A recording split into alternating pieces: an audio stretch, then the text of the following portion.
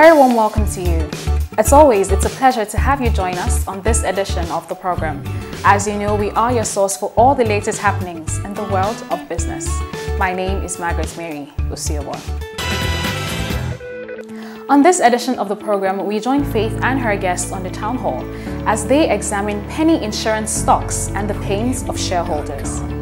While many believe that the difficult operating environment for businesses has affected insurance stocks, Others feel that the insurance industry needs to do more to overcome its reputational hurdles. Do take a listen. It is the responsibility of the insurance company to promote their business, to educate the people, to inform them, to provide very good service, excellent service. On this edition also, we will bring you highlights of the very colorful investiture ceremony of Mr. Shola Tinubu as 19th President and Chairman of Council of the Nigerian Council of Registered Insurance Brokers, NCRIB, which took place recently at the Landmark Event Center.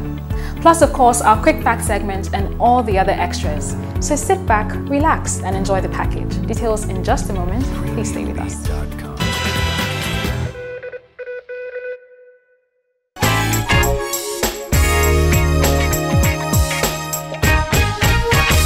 A welcome to you. It's a pleasure to have you join us on the Insurance Industry Town Hall this week. My name is Faith Uwadi. On the town hall, we pride ourselves as looking at issues that a lot of people will shy away from. Uh, we've taken a bold step this week to talk about what most people don't want to talk about, even though it's at the core of this business called insurance in Nigeria. That's talking about penny insurance stock and the pains of shareholders or investors. In our usual manner, we've gathered an array of tested personalities who are experts and have in-depth knowledge on the topic of discuss. I'd like to invite to join me on set Mr. Amos Falade, who is a dealing clerk and stockbroker in the Nigerian Stock Exchange.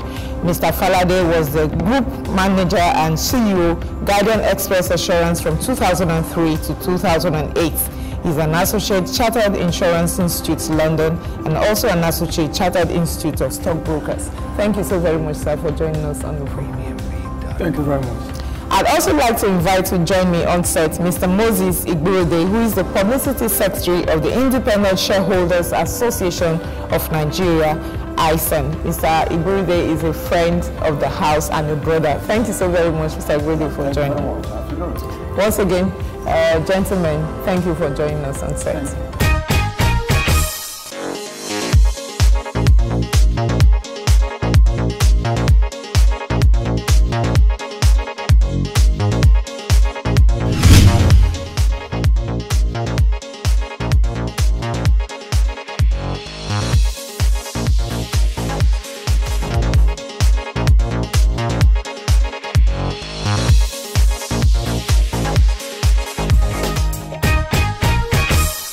Performance of the insurance stocks in the stock markets, uh, even from when when the boom era has always remained at penny level when compared to to other sectors in the financial services industry. Um, what is responsible for that, and uh, how does it affect shareholders who have gone year on year without getting dividends or getting even value for their investments. Let me start with you, Mr. Falade. Okay, thank you very much. Um, by penny uh, stocks, you are referring to those uh, companies whose shares are trading around 50 kobo. Yes. At present, on the Nigerian Stock Exchange, 26 insurance companies are listed under the insurance sector. Then there are two others who are listed under, under financial institutions. Uh, these two are listed under other financial institutions because in addition to insurance, they are into some other financial services. So on the whole, we are talking of 28 uh, companies. companies. Now, if you analyze these 28 companies, only one is trading above 3 naira. At present? Yes, okay. at present. Another one is trading above 2 naira. Two others are trading between 1 naira and 1 naira 50 kobo. Then about three or so are trading uh, between uh, 70 kobo and 1 naira. Which case, all the remaining ones are at 50 kobo. So why is this so? It's not unlikely that what you are seeing is a picture of what is happening in the wider economy.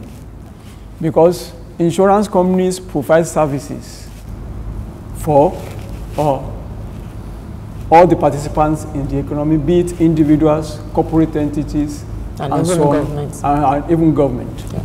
So, what is happening in the economy is likely to be one of the causes. Then, if you analyze further, you will see that in the Nigerian environment, the level of patronage of insurance companies is actually very, very low, very, very low compared with other uh, economies. The insurance industry can be divided strictly into two broad areas, general and life. If we analyze it further, you will see that the bulk of the business in insurance in Nigeria is on the general side. The level of penetration of insurance on the life side is very, very small. Very, very small. But okay, so Mr. Falade, is there a relationship between that and why their stocks are trading at at, at um, less Of, than of 50 course, there is a relationship. If the level of patronage is very low, it then means that the income they generate will be low, the, their profitability level will be affected, and of course, if you also look at the peculiarity of the Nigerian environment, the cost of operations, the cost of even managing their portfolios is so high that at the end of the day, they have little or nothing left in form of profit at the end of each trading year.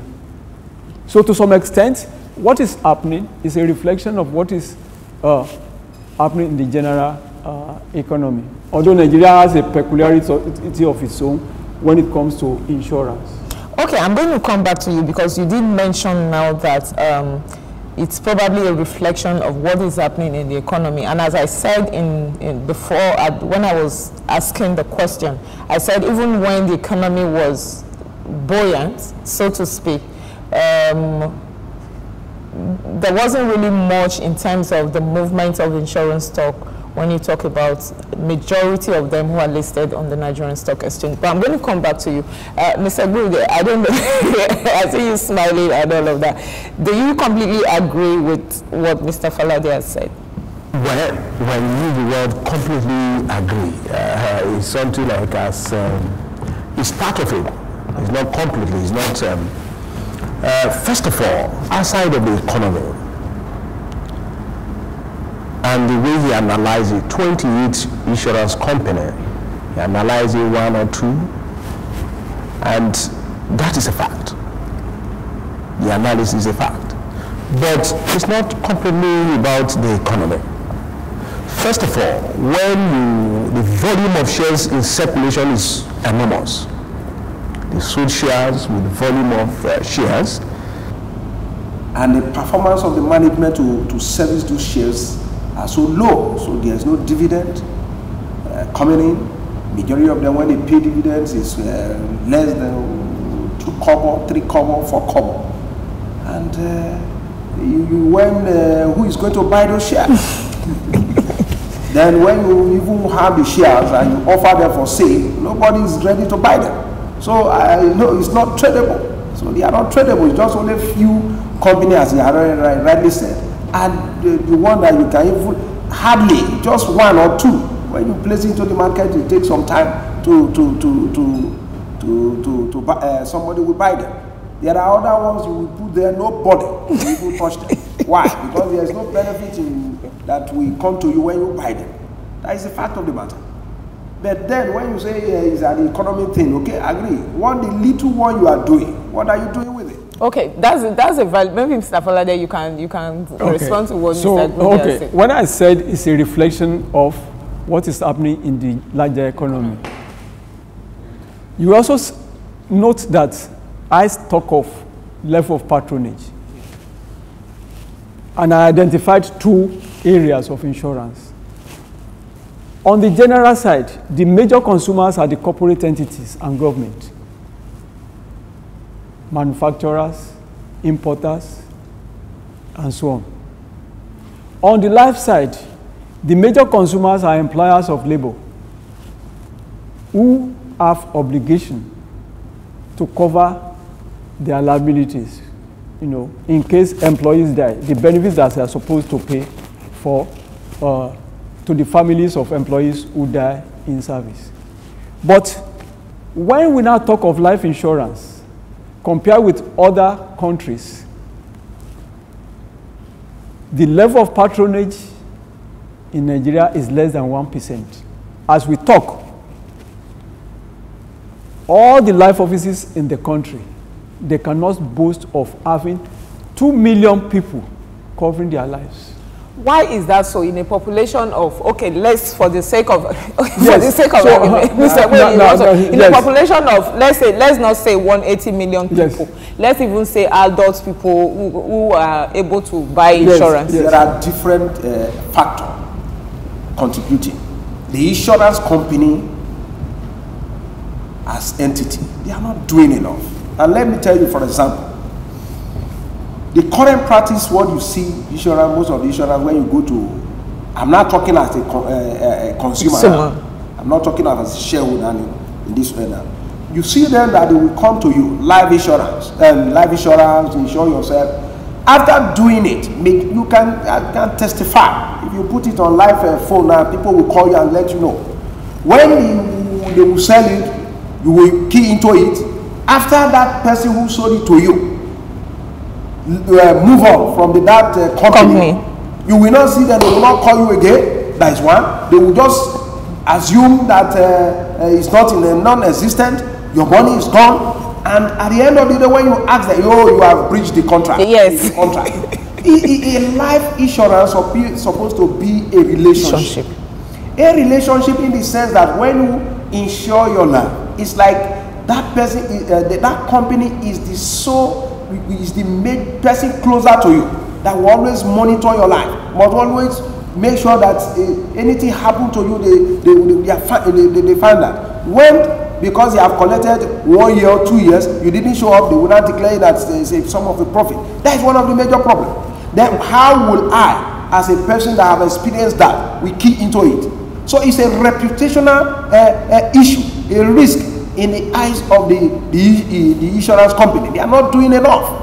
Because you are the one who developed the product. 1,000, 2,000, 10,000. Contribute to over. Somebody have contributed. I have not only one, two, three people who are complaining about that. Even on my radio show, Mr. Falade, on a weekly basis, these are some of the things you hear. That some people, some maybe agents or even marketers directly from insurance companies, they go out and market, especially life products. People key into it. At the end of the day if the the marketer moves from that company that's the end of it. The person won't see they won't they won't get any information as to what has happened to the policy they've keyed into. And it, it has actually uh, discouraged a lot of people from keying into insurance i don't know you are a life specialist yes yes so. yes i agree with you it's a problem it is a problem the question of after sales service, service. is a problem but is not the whole of the problem. Part of the problem has to do with people's understanding of the needs for which they are buying the products. So when people don't have a good understanding, the level of patronage will be very low. So whose responsibility? Well, it is the responsibility of the insurance company to promote their business, to educate the people, to inform them, to provide very good service, excellent service. If they are able to do this, and the level of patronage is very high, one thing about insurance is they have the opportunity of accumulating long-term funds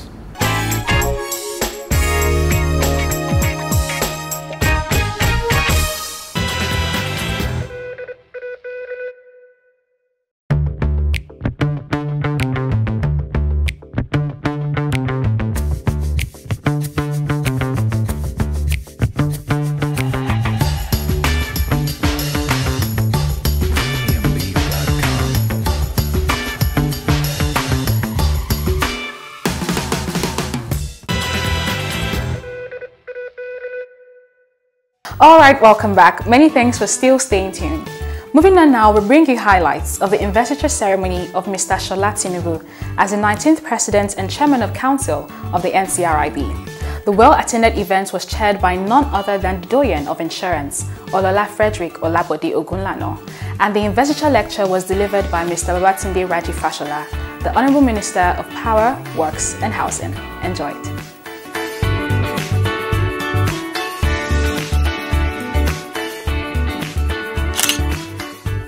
The Nigerian Council of Registered Insurance Brokers, NCRIB, is a premier association of all registered insurance brokers licensed to operate in the Nigerian insurance market by the National Insurance Commission.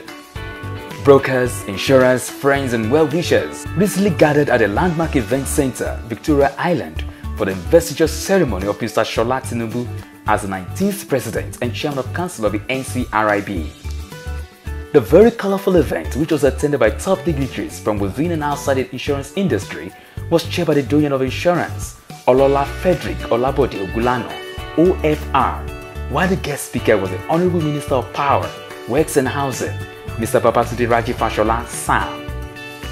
In his valedictory address, the immediate past president of the NCRIB, Mr. Manuel Okunore, highlighted some of his modest achievements in office.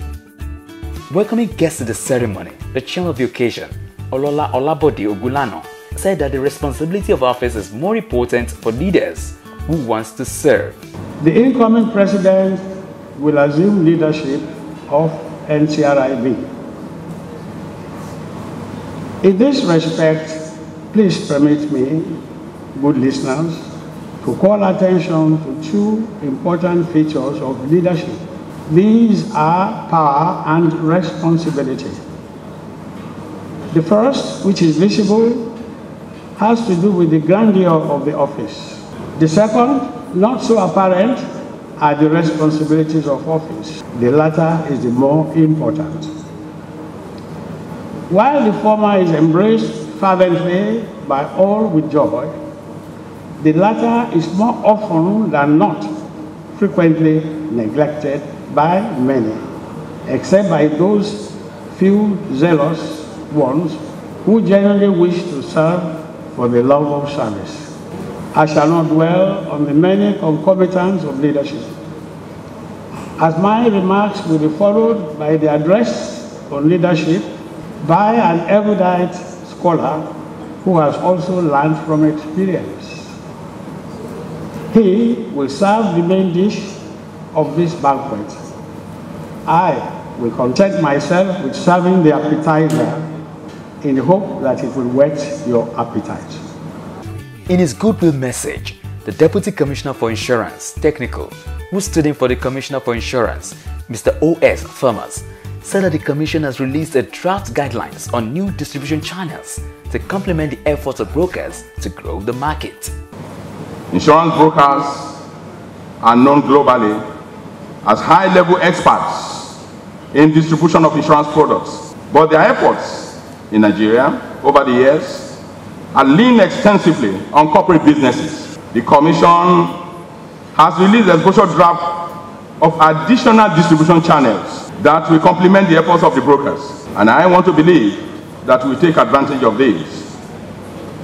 The times are challenging, and we must all turn a new leaf in our approach to doing business.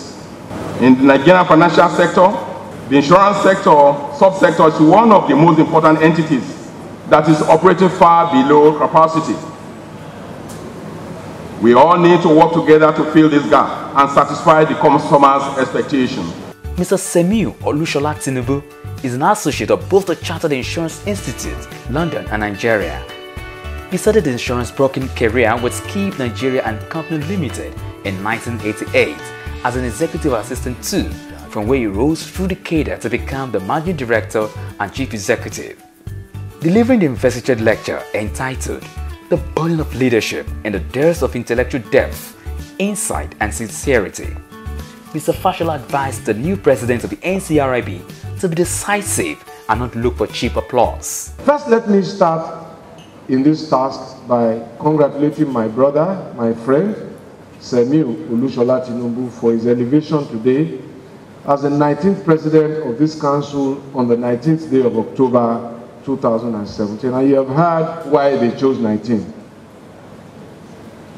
But as you and your council members assume office, please, I urge you to look for more integrity to add to what you already have.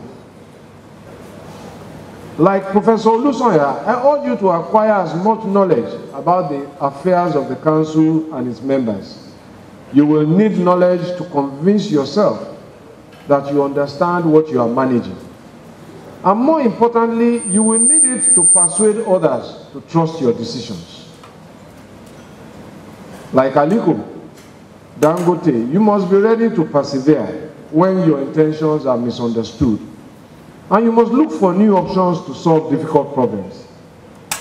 Finally, please remember that you have now been called to lead. In doing so, please decide, do not deter.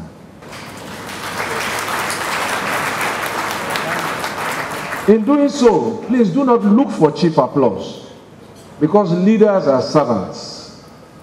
And always be ready to take decisions that are right even if they are not popular. With the speeches taken, friends and well-wishers witnessed the investiture of Mr. Olushola Tinubu as the 19th president of the NCRIB. On this note, it is my pleasure and privilege. Well, Dr. Lawale Cole decorates the incoming president, Mr. Semiu Olushola Tinubu,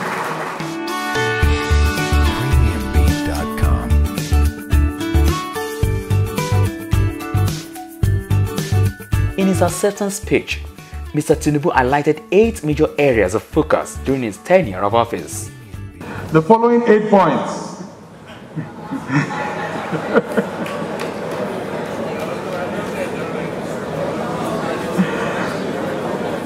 constitute my thrust of office. With the first being that major thrust, and others following but not in any order of priority. Number one, building the NCRIB into a strong institution through the empowerment of the Secretariat so they can hold their own amongst all local and international professional associations. Two, in order to achieve the above, to prepare the Secretariat for that empowerment and reposition it with a seamless succession plan. Streamlining the duties and office of the President to essentially its core non-executive role. Introduction of value-added programs for the members, including ensuring affordable capacity building learning programs for members to take advantage of and in some instances even to offer free training to members. Mr. Tinubu has been involved with the NCRIB for more than 15 years, having served in various capacities actively. Reputed for integrity, honesty and loyalty by many professional colleagues, expectations are high. Many are however without doubt that as Mr. Olushola Tinubu takes the mantle of leadership as the 19th President and Chairman of Council of the NCRIB, good things will happen.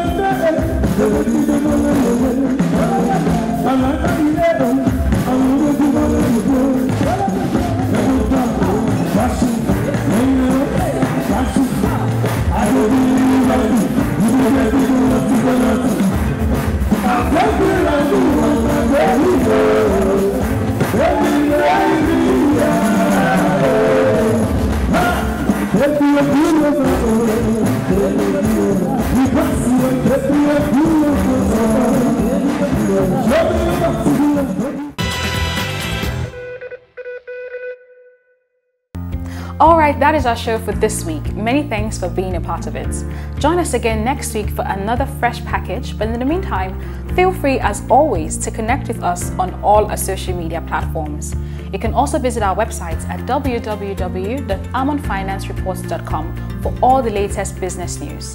Don't forget that this program also airs on BCOS Television Ibadan every Thursday at 6 p.m. Many thanks to all those who participated in the 2017 Insurance Consumers Forum. It was just amazing. God willing, next year will be even bigger and better. For those who couldn't and didn't make it this year, do watch the space for highlights on what went down that day. My name is Margaret Mary Osiobo. Many thanks for joining us this week. Enjoy this piggy commercial from Geico as our parting shots. Bye bye. License and registration, please. What's this? Uh, it's my Geico Insurance ID card, sir. It's digital. Uh, pretty cool, right? Maybe. you know why I pulled you over today? Because I'm a pig driving a convertible. Tail lights out. Fix it. Digital insurance ID cards. Just a click away with the Geico mobile.